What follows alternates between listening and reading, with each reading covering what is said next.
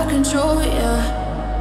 Just listen, listen, listen to me.